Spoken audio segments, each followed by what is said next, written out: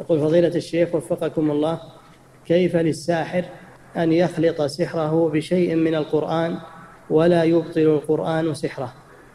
ما قلنا أنه يخلط سحره بالقرآن لكن نقول أنه يقرأ شيء من القرآن يقرأ شيء من القرآن يغرر بالناس.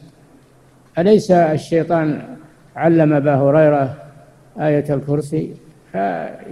يذكر يأتي بالآية ليغر الناس. نعم. وله بيعملها مع السحر أو يخلطها مع السحر. نعم.